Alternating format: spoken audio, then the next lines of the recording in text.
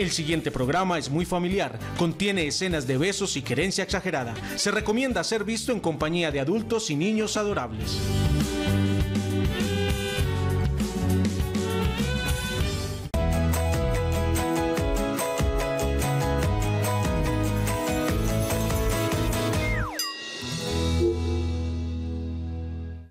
Nos unimos en un arrullo para abrir juntos un camino. Yo te ayudo a entre dudas, llanto y caídas, entre risas, besos y abrazos, juntos nos gozamos la vida paso a paso, construyendo desde el amor, paso a paso, para hacernos la vida mejor, paso a paso, dejando huellas de... Bienvenidos a Paso a Paso. Nos encontramos una vez más, como todos los días, aquí para consentirnos, para ser conscientes y consentidos de lo que hacemos, de lo que somos, como papás, como cuidadores, como abuelos, como nanas, como profesores, como personas que convivimos en este, este mundo con niños y con mucha gente. Eh, saludos para todos los que se conectan a esta hora, Moni. ¿Cómo vamos? Hola, Leo. Estamos muy florecida hoy. Mucho frío. Sí, pero está Sí. bien. Para regalar flores de la chaqueta vi que al ir a la lluvia. Ah, muy bien, gracias. Hace Ahorita falta. salgo para regalar. Hace falta, hace Siquiera me dijo. Gracias por estar ahí conectados eh, nuevamente. Y eso es lo que queremos hoy, que realmente, eh, más allá de lo que hacemos todos los días, se conecten. Se conecten con el tema, un tema que, uff, ya vamos a, a entrar en detalle, pero lo pone a uno a pensar y a reflexionar un montón, porque si a veces es difícil hacer conciencia en general de, de nuestra vida cotidiana, de nuestra vida real, de nuestras acciones, eh, ahora hacer una crianza consciente, que es nuestro tema de hoy, pues es muchísimo más complejo. Es una tarea por la que han optado muchos padres y quienes lo han emprendido, este camino, eh, son fieles eh, testimonios de que es un camino de mucha paciencia, de mucha conciencia, de mucha persistencia, de mucha dedicación y sobre todo, diría yo, de mucha convicción. Convicción y un camino largo para mucho tiempo, si no es para toda la vida, porque más que una estrategia, más que un estilo de crianza, podría decirse que termina siendo toda una filosofía de vida y ser conscientes de qué, pues uno dirá, sí, soy papá y que soy consciente de que lo, lo tengo que mantener, lo tengo que educar, lo tengo que cuidar, lo tengo que cuidar, que querer, pero ¿qué hay más allá de eso? ¿Qué nos tenemos que preguntar a la hora de ser conscientes como padres? ¿Por qué? ¿Para qué? ¿Qué? ¿Dónde? Pero todas esas preguntas, ¿cómo? ¿De qué estamos hablando? ¿A quién le estamos hablando? Pues conectados todos, invitados a llamar al 268-6033 para que nos cuenten sus inquietudes, todas sus preguntas, eh, si han oído hablar del tema de crianza, crianza consciente, eh, pues que nos cuenten. Si no, si tienen inquietud, pues aprendemos todos. 268-6033. Recuerden que tenemos dos concursos en este momento como habilitados. Uno en Instagram para eh, los pases para asistir a Berna Iskandar y otro en Facebook para los libros de la nube. Eh, si crees que es fácil ser mamá, eres el papá. Entonces, para que participen, entren a, las dos, a los dos sitios y consulten quienes quieran uno u otro para que participen. Dicho esto, eh, muchas veces la crianza consciente viene asociada al tema de la desobediencia o de la obediencia de los niños, que es quizás uno de los grandes dolores de cabeza de los padres, que los hijos obedezcan. Y pues este video está absolutamente relacionado, es además interesantísimo, eh, una posición ah, extremadamente bien sustentada que vale la pena que tomen nota y hagan conciencia de lo que vamos a ver. Qué bueno. A incentivar ese pensamiento crítico. Así seamos después nosotros el blanco de sus propias críticas. y elegir las batallas, lo que siempre decimos Sí, aquí. A sí. veces damos la pelea y nos enfrascamos en cosas que realmente no tienen trascendencia vital, como él lo explicaba, para la propia seguridad de los niños y terminamos tomando decisiones por ellos eh, solamente porque eh, inconscientemente abusamos de nuestra autoridad. Pues hoy hablamos de todo lo contrario, de la crianza consciente y aquí está nuestra vida real.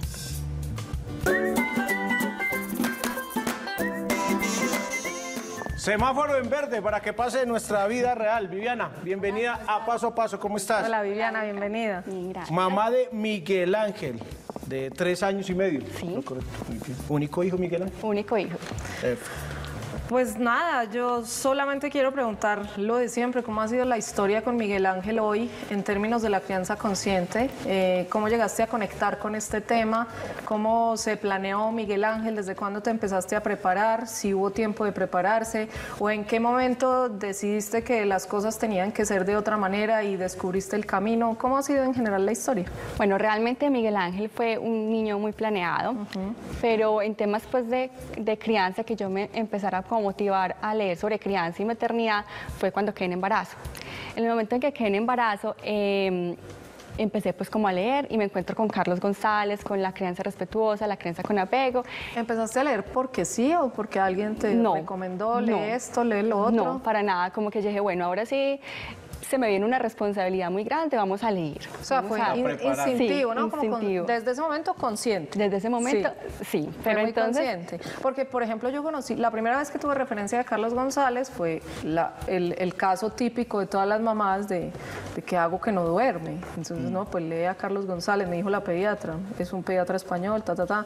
Pero hasta ahí, pues no fue como que yo autodidácticamente empezara como a buscar. No, Sí, en este yo- caso sí en fue. este caso sí fue. Yo Ajá. misma empecé a leer, a investigar y todo, y me encontré con este tema. Y fue algo que, a pues, que abrió como un espectro en mí muy amplio porque yo solo conocía la crianza tradicional, la del castigo, la del premio, la de la palmadita, si es... Así fuiste criada tú. Así fue criada yo. Tu esposo, me imagino. Mi esposo también. Entonces, yo siempre tenía como ciertas dudas con eso. Yo decía, pero si, si, aún, si es mal visto que se le pegue a una mujer, ¿por qué a un niño todavía legitiman como ese tipo de actos contra los niños? Y no te ponías en la postura de, pues yo soy alguien de bien, no estoy traumatizada, sí me dieron mis pelitas, pero aquí voy por buen camino. Sí, eso Sí, es- también. uno Entonces, llega, pues, había como una, como otro yo en mí que decía, bueno, pero es que si tomo otro camino, de pronto se me, se me tuerce y se, me sale de las se me manos. sale de las manos y un delincuente no sabe. Entonces, pero siempre había como esa Dualidad. un- sí, dualidad. Un lado me decía, no, pues hay otros, hay otros métodos y otro, y otra que me decía, así me crearon a mí y estoy bien. Entonces empecé pues como con este tema, le comenté a mi esposo y a él también le gustó, dijo, bueno, vamos a, a implementar como la crianza respetuosa con Miguel Ángel. Cuando ya él nació y se empezó uno a enfrentar a esos retos de la maternidad, ya uno dice, bueno, en la práctica eso no es tan fácil como en la teoría. Ya empieza que las rabietas, que el no quererle prestar el juguete al amiguito, y uno empieza como sin saber qué hacer, cómo actuar. Por un lado yo sabía y quería eh, tratarlo respetuosamente, pero uno terminaba cometiendo, pues como reaccionando eh, así como que no, no es- Impulsivamente. sí, impulsivamente, que no era como tan de la mano a la crianza respetuosa. Y entonces ahí decidí como hacerle doble clic, doble clic y dije, bueno, eh, aquí pasa algo. Pues algo estoy haciendo mal, algo no, no he logrado conectarme, porque no, porque, porque siento eso. Si por un lado sé que eso está bien, porque no soy capaz de, de mantener como el equilibrio. Y empecé ya a seguir ahondando. O sea, a mí me gusta leer, investigar y me encontré a Laura Gutman con la maternidad y el encuentro con la propia sombra. Entonces ahí yo dije, bueno, ¿por dónde empezar? Por mí. O sea, tengo que empezar por mí. Hacer conciencia de lo que me pasa a mí, conectar conmigo para poder conectar con mi hijo. Entonces ahí empecé como a mirar, bueno, qué, qué cosas de mi infancia, de mi niñez, de pronto pueden hacer ese bloqueo para no poder conectar con Miguel Ángel. Y es un camino largo, es un camino de muchas lágrimas. Pero ¿en qué sentías concretamente que no podías conectar? ¿En el momento del desespero ya? Sí, en el momento del desespero que no- Desconectarte tu, tu cerebro y, y tener una reacción en contra de lo que querías hacer. Sí, exacto, la pataleta la terminaba teniendo yo. Entonces, no, pero es que yo no soy capaz y, y lloraba y todo. Entonces, ahí fue cuando uno dice, bueno, algo no está pasando. Si yo, le, si yo quiero enseñarle a mi hijo a manejar sus emociones, tengo que empezar por manejar las mías. Conciencia emocional. Exactamente. Entonces, eh, cuando empiezo pues como a leer y en este proceso de crecimiento, empiezo a descubrir pasiones que yo no sabía que tenía y, y empiezo a, a darme cuenta que me encanta escribir y es una manera de liberar, de liberar, de sanar, de conectar, de liberar miedos, liberar eh, ¿Qué culpas. escribías? ¿O cuándo Entonces, ahí- escribías? Después de esos momentos tensos, con en Miguel cualquier, Ángel, mo- en cualquier momento podía hacer eso, podía hacer después, en cualquier momento que yo decía, bueno, quiero hablar sobre esto, entonces decidí abri- abrir mi blog y mi página en Instagram y le comparto pues como información a las mamás sobre el tema de crianza y me di cuenta que hay muchas mamás que están en ese mismo proceso, que quieren eh, tratar a sus hijos respetuosamente, pero no pueden, o sea, no, no son capaces de controlar sus emociones. Entonces me escriben y me dicen qué, qué hago, eh, cómo conecto con mi hijo y yo las invito a que conecten primero con ellas mismas que busquen eso que las apasione, que busquen eso que, que esa herida de la niñez, que conecten con esa niña ¿Y eso interior. cómo se hace? Bueno, eso es un proceso largo, eso es un proceso largo y muy personal, porque realmente como yo logro conectarme no es como otra mamá, o sea, cada uno tiene su proceso y uno de pronto a veces necesita ayudas. Pero ¿cómo se hace? Pues uno cierra los ojos y trata de recordar qué pasó en la infancia o empieza a entrevistar a los papás a ver si hubo algún episodio que lo marcó. o- o- Bueno, yo Que está repitiendo uno lo, lo mismo con su hijo que lo que hicieron con uno. Sí, yo fui, yo hablé mucho con mi mamá, indagué mucho con mi, pues como sobre mi niñez y todo, y también fui a una terapia de biodescodificación, pues que es un tema aparte, pero eso me ayudó mucho, digamos que todo es como un complemento. Entonces, eh, empecé pues como en todo ese tema de crecimiento, eh, me certifico como educadora de padres en disciplina positiva y eso también me da herramientas, pero digamos que es como un complemento a ese proceso que yo ya tenía eh, anteriormente. Y entonces eh, se da uno cuenta que uno tiene muchas cosas que sanar y que hasta el momento, bueno, si uno es una persona de bien, hasta el momento no, no tenía problema con nada, pero cuando uno es mamá aparece esa sombra esa sombra y, y realmente los hijos son nuestro espejo. Son nuestro espejo, son nuestro más maravilloso espejo y es cuando se empieza a dar cuenta qué hay, qué hay detrás de todo esto y uno que tiene que, que mejorar para poder conectar con sus hijos. ¿Y entonces qué empezó a pasar con respecto a Miguel Ángel? Bueno, con respecto a Miguel Ángel, pues realmente los niños van a seguir actuando como niños porque la idea no es cambiarle el comportamiento a ellos. Ellos van a seguir teniendo sus etapas evolutivas, ellos van a seguir haciendo sus berrinches, van a seguir haciendo lo normal que hace cualquier niño de su edad. El cambio es en uno en la manera en que uno afronta esas situaciones, en la manera en que uno logra conectar con uno y así conectar con ellos. Entonces ya no es pues como que yo exploto que, o que hago un berrinche peor, no, pero eso es un camino de todos los días. O sea, todos los días se aprende, todos los días se hace conciencia y todos los días se está pues en este trabajo. Pero ¿qué cambia, Viviana, cuando hay esa conciencia? Digamos que ahora que tú eres consciente ante una, una- ante una situación de, de estrés o una pataleta, no, yo ya soy consciente, entonces voy a hacer esto. ¿Qué haces? ¿Te retiras, ignoras, pensás, respiras, le hablas de otra forma? Hago de todo, o sea, a veces respiro profundo, hago, me, me alejo un momentico hasta que yo esté calmada, eh, trato de conectar con él de otra manera, a veces pues le, le cambio como las cosas y trato de, de hablarle de otra manera. Eso depende con- como del momento y también yo como esté, porque a veces no es lo mismo, uno no reacciona igual cuando viene del trabajo cansado, estresado, que cuando está en la casa y ha sido todo tranquilo. Entonces digamos que unos, unos días requiere un poquito más de esfuerzo para conectar. Y cuando uno hace A, B, C, D, E, F, G, Ya va en la X y no sabe y no le funciona ninguna. y ahí sigue. ¿Cómo conecta uno ahí? Porque ese es, ese es, ese es como, como el, el- el punto máximo hasta donde todos los que hemos intentado alguna vez esto de la crianza respetuosa, consciente, eh, con amor o como se llame, eh, llegamos a- hasta muchos intentos, pero al final no sabemos qué hacer. ¿Qué pasa ahí? No, pues yo lo que hago es primero, si estamos con muchas personas, siempre es una presión social, entonces yo me alejo con el niño, me voy para un lado, pues para un sitio donde estemos él y yo solos y ahí ya me resulta más fácil calmarme. Entonces yo respiro, le hablo, no me hables, está bien, hijo, yo no te hablo. No me acaricies, hijo, listo, no te acaricio. Entonces él me dice, pues es muy curioso porque él tiene tres años, pero él identifica muy bien sus emociones, entonces me dice, mamá, estoy muy enfadado. Mamá, no me gustó lo que me dijiste. Mamá, estoy muy enojado contigo. Yo le digo, listo, mi amor, cuando quieras hablar, hablamos. Y, y me- y a veces intenta calmar, dice, mira, voy a contar hasta cuatro. Y empieza a respirar a contar hasta cuatro. Le ha funcionado pocas veces. pero mira, mamá, es que me estoy tratando de calmar, pero no soy capaz. Entonces le digo, no, mi amor, tranquilo. Eh, sigue mm, llorando si necesitas llorar. Y, y cuando estés calmado me dices, pero ya no, no me desespero. O sea, ya estoy como más calmada, ya estoy como más tranquila. No, no he llegado pues ya como a explotar como lo hacía antes. Porque ya como que yo conecté con esa niña que había en mí que de niña de pronto le dijeron llorar es malo, no llore, sea valiente.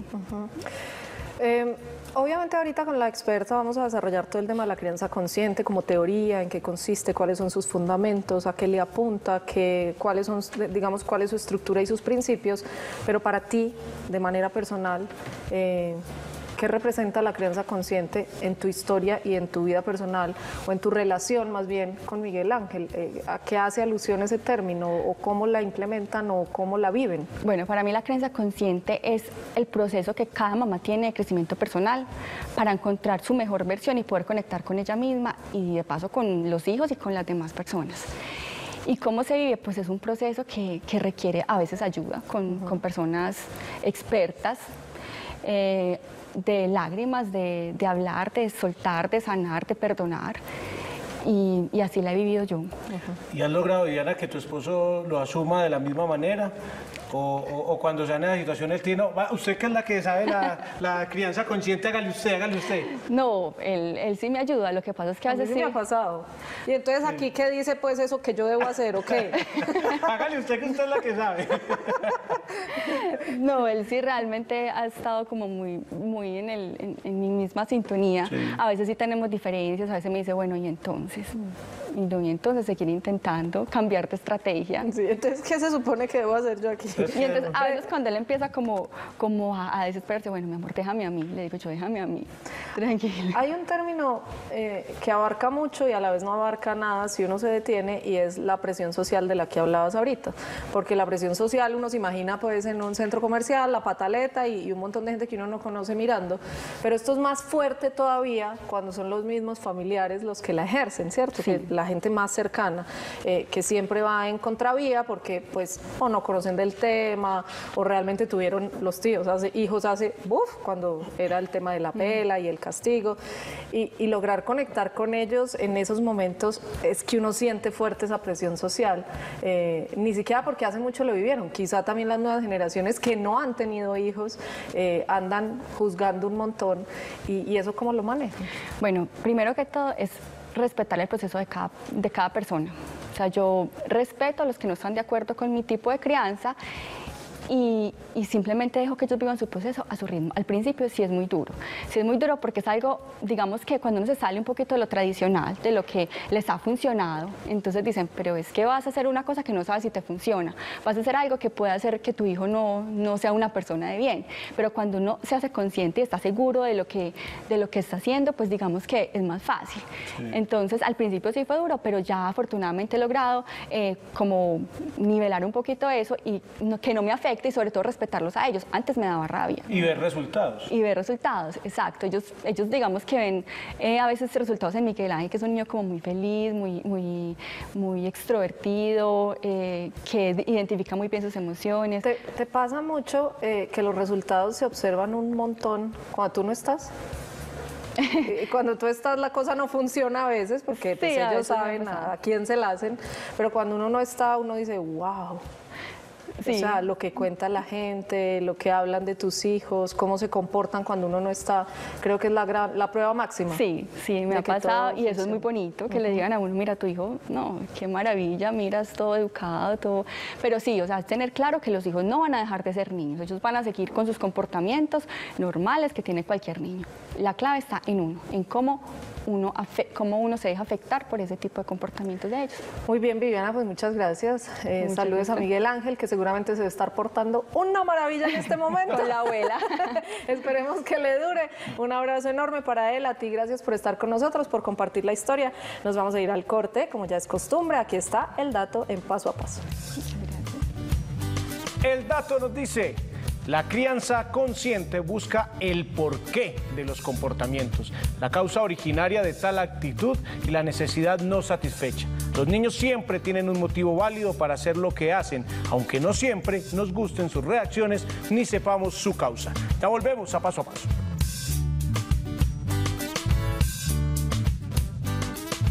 Estás viendo Paso a Paso.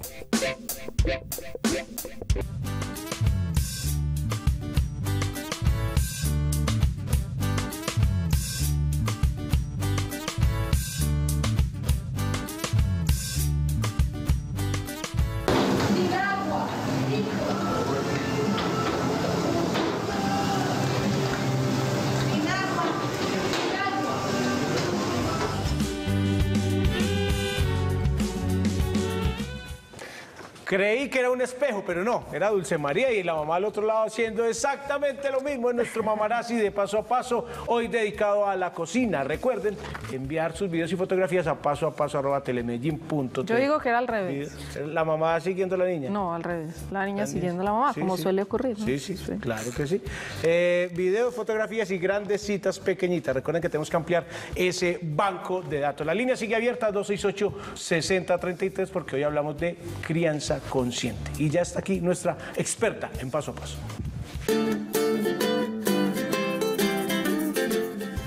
Luz Adriana Petro. Luz Adriana, bienvenida. ¿Cómo Gracias, estás? Leo. Mamá de Luciana y Emilia. Además, correcto. certificada como asesora en maternidad consciente y crianza respetuosa. Pues Luz Adriana, un gusto. Mucho gusto, Leo. Muchas gracias. Luz Adriana tiene un blog Sí, que se con- llama Con Alma de Mamá. Página en Instagram también. Sí, en Arroba Instagram. Alma de Mamá. co- Arroba con alma de mamá. Con Alma de Mamá. Perfecto. ¿Y qué es? ¿Cómo nació este proyecto? Mira, eh, cuando en un principio me llamó la productora pues, a invitarme al programa, me dijo, necesito una mamá real. Y yo le dije, yo soy la mamá real, porque realmente de ahí nació ese proyecto. Eh, quise ser mamá toda la vida, pero cuando llegaron estas hermosas hijas, a pesar de ser el sueño, como que me quería como enloquecer. Yo por qué quise esto toda la vida. Pues la verdad tuve mucha suerte porque me tocó, me tocó eh, la bebé llorona porque tenía cólicos del lactante, o sea, podía fácilmente llorar de 5 de la mañana a 2 de la tarde sin parar y yo quería salir corriendo, la verdad. Entonces empecé como a decir, pero, pero si era el sueño de mi vida, ¿por qué esto me sucedió? Y realmente era porque yo creo que la vida me tenía una misión pues como muy bonita. Empecé pues como a buscar qué es lo que pasa y me empecé a dar cuenta que la persona que, que le pasaba algo no era el bebé, que la persona a la que le estaba pasando algo era a mí misma.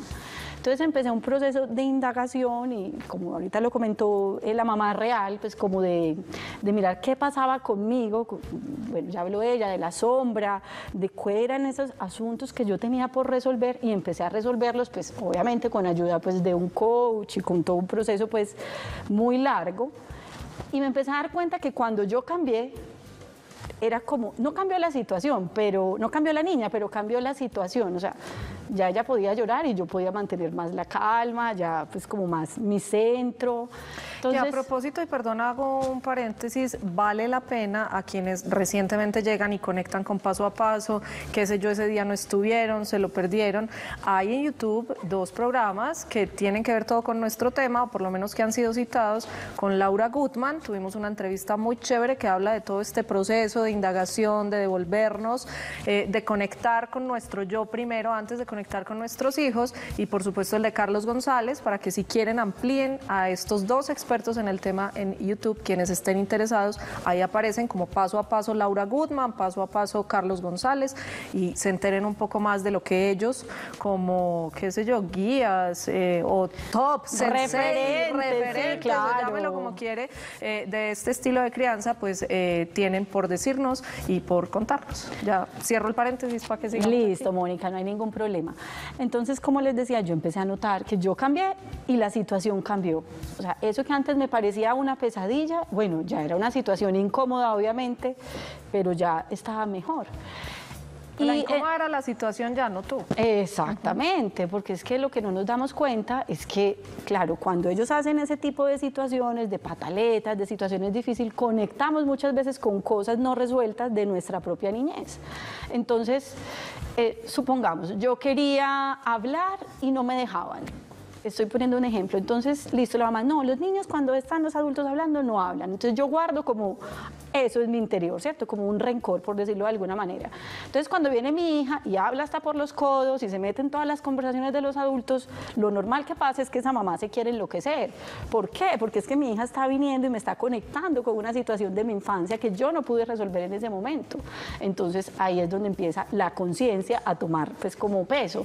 En este proceso yo me encontré con una autora que es, digamos, como dices tú, la sensei de la crianza consciente. Ella se llama Shefali Savari y es una, es una psicóloga de la India.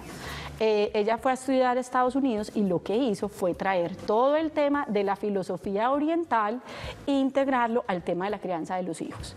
Entonces esta sensei, que me parece, yo le decía a Leo antes de empezar el programa, esto más que una forma de criar o de una receta, venga yo le voy a decir cómo hace para que su hijo no haga pataleta, es una visión, como una filosofía de ver la crianza, que se termina convirtiendo en una filosofía de ver la vida. Entonces esta señora, que es hermosa y que es pues el top de Oprah Winfrey, o sea, es súper famosa en Estados Unidos, que dice, que si nosotros nos damos el permiso, la crianza de los hijos es la mayor oportunidad que tiene cualquier persona para crecer desde el punto de vista personal y espiritual. Entonces ahí es donde está, si uno atiende el llamado o no, ¿cierto? Es correcto. Y ella pues tiene tres libros, pues obviamente los que yo ya me leí y bueno, ellos fueron la entrada a este camino, yo dije... em, yo tengo que compartir esta experiencia con otras mamás, porque si para mí me ha dado esta tranquilidad que uno busca, ¿Eso pues, pasó debe- cuando tus hijas tenían cuánto? Ya. ¿Cuánto Mm, Más o menos tres o cuatro años, mi hija mayor. Yo tengo dos hijas, tienen seis y cuatro, y yo vengo en este proceso hace más o menos dos años y medio. Lo pregunto porque ha- habrá mucha gente eh, en situaciones parecidas y dirán, ay, pero ya mis hijos crecieron y entonces ya para qué, o ya no lo no, hice. o- yo creo Lo sigue que aplicando. Ve, yo tengo, una vez publiqué una frase que fue muy, muy, muy, muy, eh, con mucho rating en mi blog, que decía, y cuando ya me sabía todas las respuestas, me cambiaron todas las preguntas, porque realmente... Pues claro, tú dices, ya, ya descifré la pataleta, maravilloso, pero tranquila, que vienen La los- preadolescencia, La preadolescencia. ¿cierto? O ya viene la adolescencia. Y yo creo que hoy en día mi mamá sigue aprendiendo de mí, ¿cierto? Porque a eso vamos, a que los hijos se convierten en esos grandes maestros. ¿Por qué? Yo no sé si ustedes han escuchado el tema de la ley del espejo, que dice, eso lo es de, Buda, pues, que dice, todo lo que me molesta de ti es algo que no he resuelto en mí. Y resulta que los mayores espejos, mejor dicho, potenciados, no sé, mil veces, son las personas que más queremos. Entonces son nuestros hijos, es nuestra mamá, es nuestra pareja, porque todas esas cosas que uno dice, uy, pero es que yo como lo quiero, pero como me quiere enloquecer, es porque te está mostrando. Entonces ahí es donde viene el tema de conciencia, si lo llevamos a la práctica. Me molesta que mi hijo es desordenado, entonces uno se debe preguntar, ¿cómo haces de cuenta que te pusieras un espejo adelante? ¿Y esto qué me está mostrando de mí? Que tal vez yo soy demasiado estricta, psicorrígida, que ya estoy al punto pues de un trastorno, o que por el contrario yo estoy viviendo en el desorden. Entonces siempre todas estas situaciones, lo que dice la crianza consciente es como un llamado a decir, papá, busca el equilibrio, ok, tu hijo es desordenado, es muy ordenado, pero tal vez tú estás demasiado desordenado, ¿no te parece bien que busquemos un equilibrio entre los dos? ¿Requiere uno, Luz Adriana, necesariamente alguien externo que lo acompañe en ese proceso de conocer la crianza consciente o, podría uno pensar en, en que es capaz solo de resolver esa situación? Porque lo, lo- lo digo por, por Viviana, nuestra vida real, por lo que tú comentas, y, y muchas veces uno en casa, ante ciertas situaciones, en, en sus momentos de tranquilidad uno dice, no, no, yo soy capaz con eso, pero cada vez que se enfrenta a determinadas cosas, dice, no, necesito ayuda. Pues mira, Leo, yo creo que depende del tamaño del rayón que cada uno tenga, ¿cierto? Habrá personas que lo podrán resolver con unas herramientas muy básicas que uno puede hacer, uno mismo se puede hacer las preguntas, o sea, listo, me tiene desesperada mi hijo con esta situación. Bueno, yo puedo, cada vez que eso suceda, hago un, un pare, ¿cierto? Empecemos con que hacer el pare ya, digamos, es una ganancia porque solemos no parar.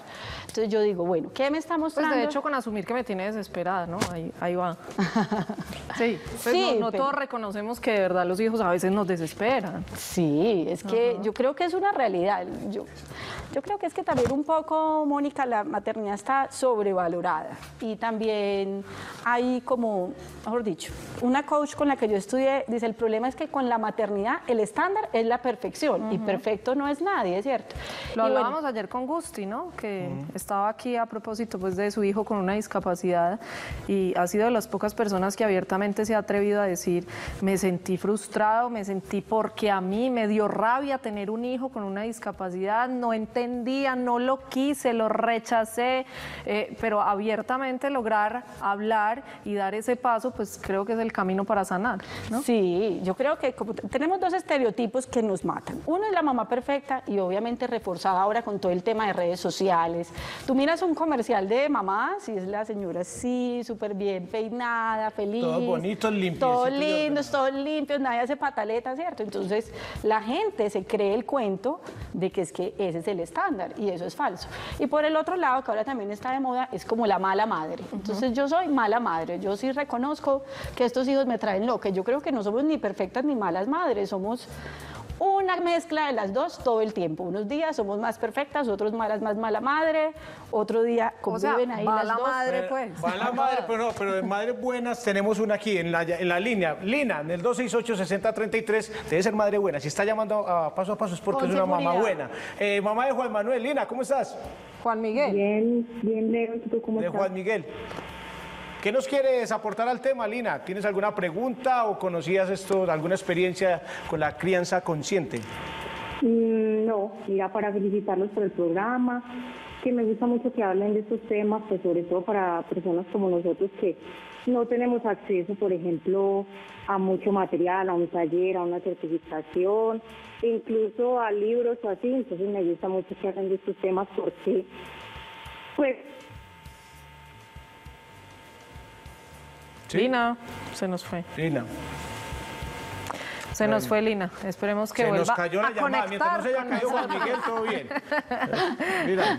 Muy bien. Eh, retomando este tema, digamos que hay unos principios básicos de la crianza consciente que son cuáles, y hagamos, pues no- nos quedaríamos aquí creo que hablando de cada uno, pero un repaso como para ilustrarnos lo que decía Lina, no todos tienen acceso a cuánta certificación, a cuánto taller, incluso el tiempo para consumir las redes sociales. Eh, hay mamás que tienen que atender los quehaceres de su casa, más atender los hijos, más despachar al marido, empacarle la coca al recién casado, eh, y un montón de vainas que a qué horas pues redes sociales, ¿no? Y también se enloquecen, pero un barrido así como por esos principios, que si no estoy mal son siete, que en qué consisten. Vamos a ¿Qué ver voy a acordar de todos. Yo los tengo aquí, yo le voy Bueno, soplando. Dice, tomar la paternidad como una oportunidad de, de crecimiento personal, que es lo que hablábamos. Entonces, atender ese llamado, a saber que hay algo más ahí que es la- el motivo por el que me estoy confrontando a mí misma.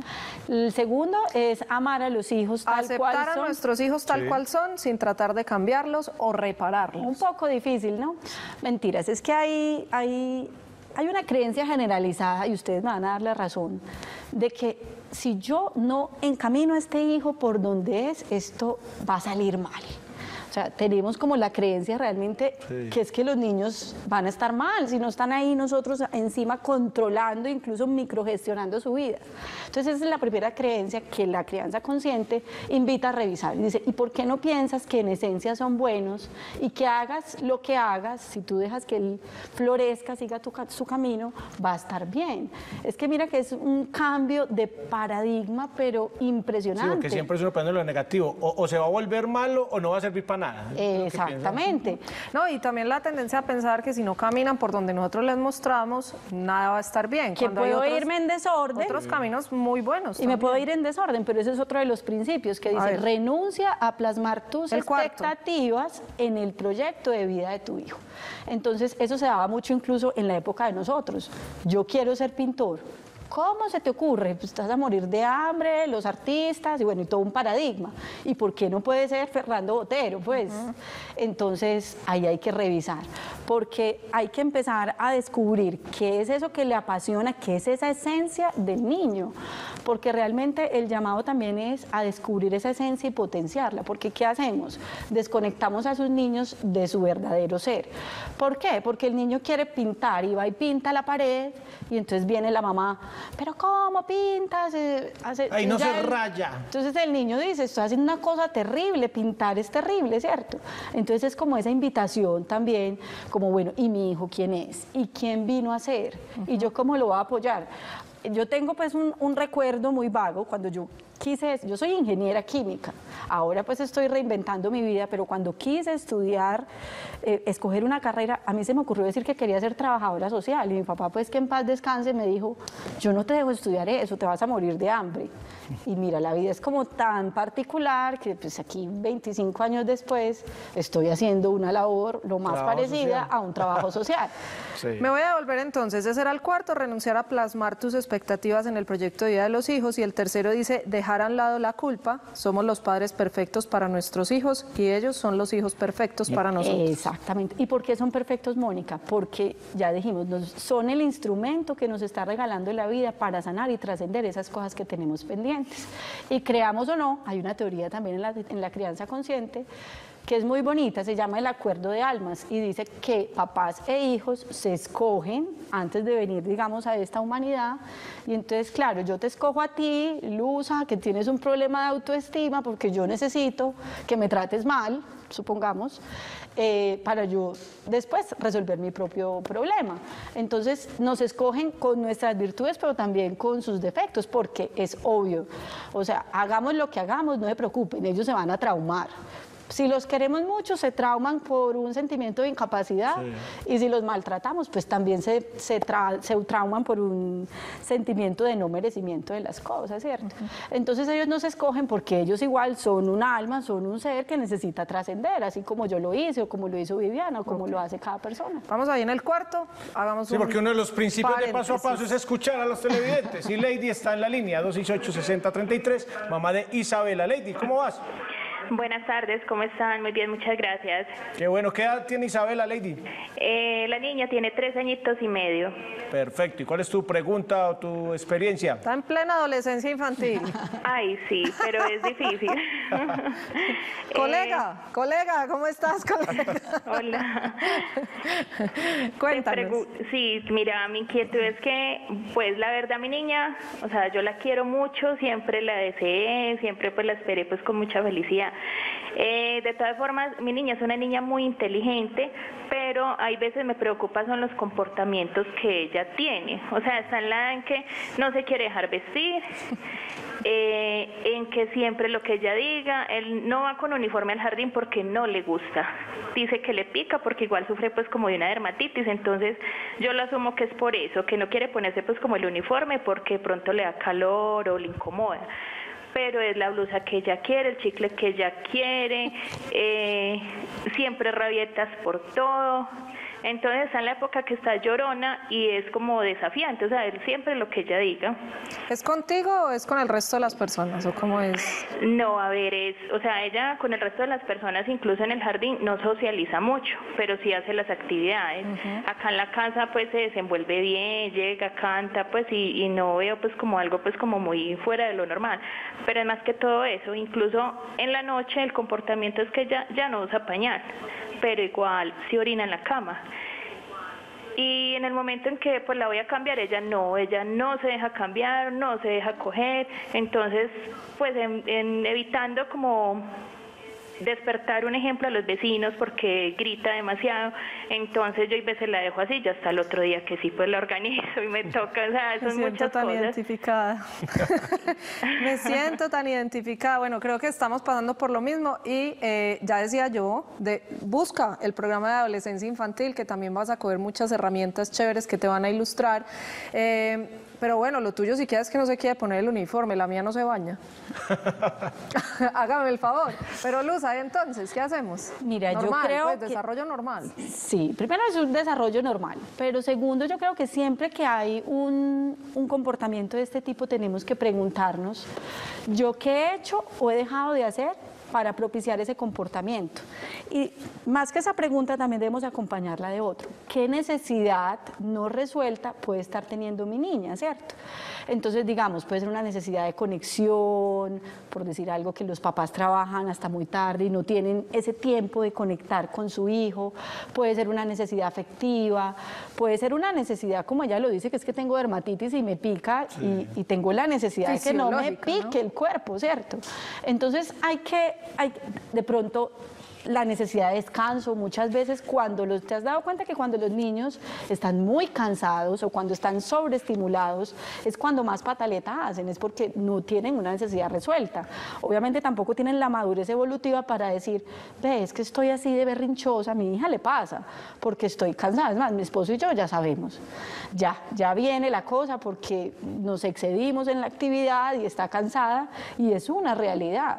Entonces hay siempre que preguntarnos qué hay detrás de ese comportamiento, no que mi niño está mal o va a salir mal, o sea, hay algo. Normalmente en la página me escriben muchas mamás y yo siempre les hago esta pregunta y me dicen, ay, sí, ¿sabes qué?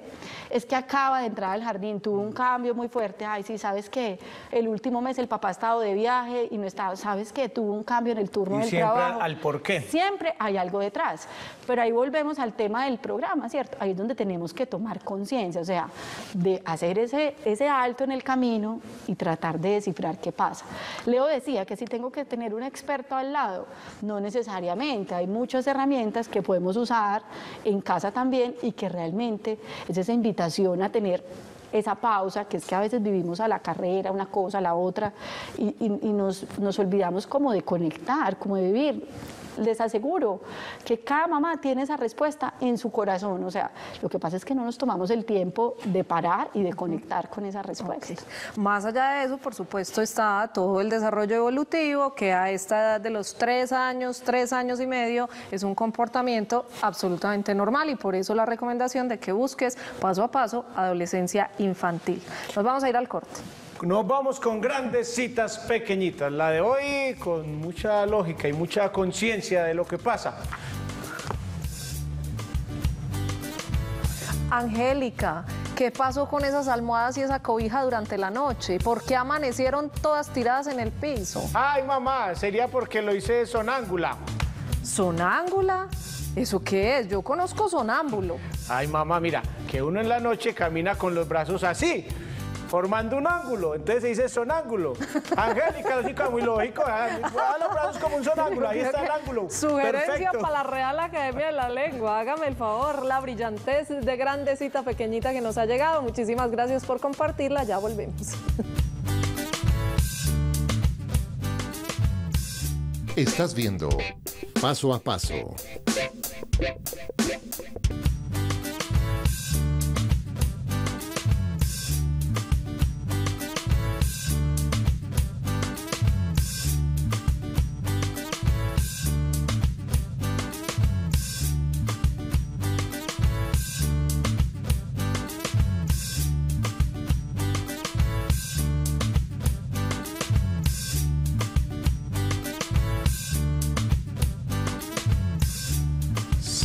Salomé y Jerónimo con su mascota están en nuestro mamarazzi. Hoy hablamos de crianza consciente. Seguimos analizando los principios porque además hay sorpresa al final del programa. Y vamos para el quinto, Luz Adriana, que es amar incondicionalmente a los hijos y expresar esta incondicionalidad a través del lenguaje. Yo creo que estaríamos de acuerdo en que todos amamos incondicionalmente a los hijos, ¿no? Absolutamente. ¿Cuál es, ¿Cuál es el problema? Que muchas veces no somos capaces de expresar esa incondicionalidad. ¿Por qué? Hay estudios que demuestran que el 80% de la comunicación de padres a hijos es descalificativa. Son críticas, juicios, etiquetas, este niño si es necio, otra vez tú con eso, me estás volviendo loca. Pues es como descarado. es la manera en que nos educaron y obviamente es la manera en que muchos repetimos el patrón con nuestros hijos. Entonces, dime si, eh, si alguien se va a sentir amado incondicionalmente, si mi papá todo el mundo me está diciendo, todo el día me está diciendo, eh, necio, quédate quieto, eh, ay, pero tú no entiendes cuántas veces te tengo que decir las cosas. Pataletoso, desobediente, Eh, malcriado, grosero. Y entonces uno dice, ay, sí, y entonces yo cómo hago Luza para expresar esa incondicionalidad. Y ahí es donde pequeños cambios en el lenguaje hacen una gran diferencia. Y les quiero hablar pues como de dos herramientas muy fáciles. La primera se llama comunicación libre de juicios y etiquetas. Y es que tú le puedes decir lo que quieras a tu hijo, ¿cierto? Entonces, jugó toda la tarde y dejó el cuarto hecho un desorden. Esto es la escena de todos los días en mi casa, ¿cierto? Entonces tú le puedes decir, eh, pero como eres de desordenada, otra vez volviste nada el cuarto. O tú le puedes decir, que es lo que propone esta técnica, es hablar de hechos concretos, en momentos concretos, en tiempos concretos. Luciana, llevas toda una semana jugando y dejando los juguetes tirados. Eso es diferente a que me digan que yo soy desordenado, porque la etiqueta condiciona. Entonces, ¿tú cómo crees que va a ser mañana, Luciana, si yo todos los días le digo, eres desordenada, eres desordenada? Ella se va a creer que es desordenada. Y supongamos que la esencia de Luciana, simplemente que es una etapa evolutiva, es ser una niña ordenada. Ya, la desconecté, ya, yo voy a seguir haciendo lo que mi mamá me dice que yo soy. Desordenada. Desordenada. Entonces, esta, digamos, este pequeño cambio puede hacer una gran diferencia, porque tú estás atacando digamos, el acto. Llevas tanto tiempo. Hoy te has peleado tres veces con tu hermano. No, eres una busca pleito, eres una peleona. Es bien, bien diferente. Y esa es la propuesta que hacemos desde la crianza consciente. Fomentar la conexión emocional con los hijos, escucharlos sin juzgarlos, sin sermonear, ush, sin intervenir. Muy ligado a, A lo que veces es- acabamos de hablar. Es un poco, suena complejo, pero no lo es. Lo que pasa es que, mira, ya dijimos que la crianza consciente es un cambio de paradigma, ¿cierto? Entonces, ¿cuál es el paradigma tradicional? Yo soy el adulto, yo soy el sabio, yo soy el que sé, y ¿sabes qué? Tú estás mal. ¿Cierto? Entonces, cuando viene, por ejemplo, tu hijo y a contarte un problema, siempre estamos tentados a decirle, ay, pero eso no es así. No se te va a ocurrir hacer lo que hizo fulanita de tirarse por allá por ese barranco, que te puedes aporrear y te puedes no sé qué, ¿cierto? Digamos que en este nuevo paradigma, como que dicen, no, ¿y qué tal si el niño es el maestro, el que te viene a mostrar o a recordar ver la vida desde, otros, desde otro punto de vista, desde otro ángulo? Entonces viene tu hijo y tú, ¿por qué no aprovechas esa oportunidad para aprender y que él saque sus propias conclusiones? Es que, digamos que esa cantaleta ya está comprobado que no, no aporta No cala, nada. no cala. Exactamente. Y finalmente el 7, practicar la, esen- la presencia comprometida. Aquí y ahora. Un poco de Aquí y mindfulness. ahora, un poco de mindfulness, porque a veces creemos que estar con nuestros hijos es estar en la casa y bueno, y siéntate ahí, pinta, yo voy a cocinar, voy a lavar los platos, y no es que tengamos que estar pues todos los di- todo el día mirando a los hijos a los ojos, ¿cierto? Pero sí debe haber unos espacios de conexión emocional. Y esto es una estrategia que también pues, abordan de la disciplina positiva, que es el tiempo de calidad con cada uno de los hijos. Listo, vamos a irnos tú y yo a caminar bueno, así sea por la calle. Tiempo especial. Bueno, un tiempo especial.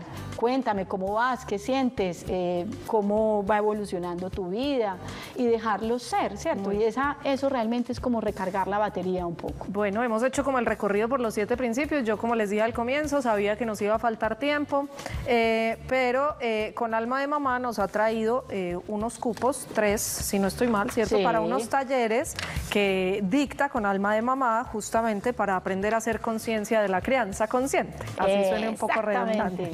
Quienes estén interesados en el tema, pues pendientes, los entregaremos la próxima semana porque en este momento hay como mucha cosa para que no se vayan a confundir.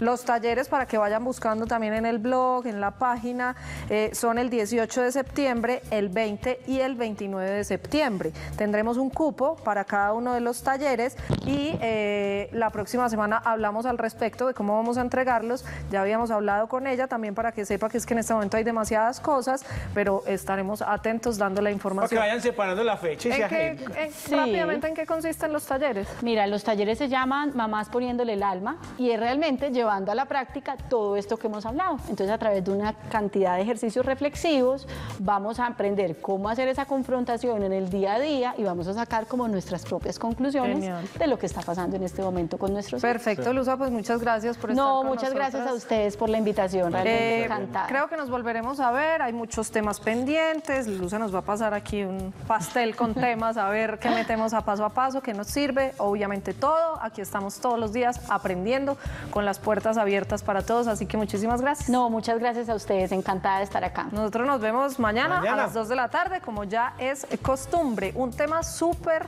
eh, que sé que los va a enganchar y es cómo dar ese tránsito a la alimentación complementaria, cómo se preparan, qué alimentos, qué combinar, si los hago en puré, en papilla, en trozos, de qué manera, con qué sabor, con qué ingredientes, que si sal, que si azúcar, que si leche, que si miel. 2 de la tarde. Chao, chao. Nos vemos. Chao, chao.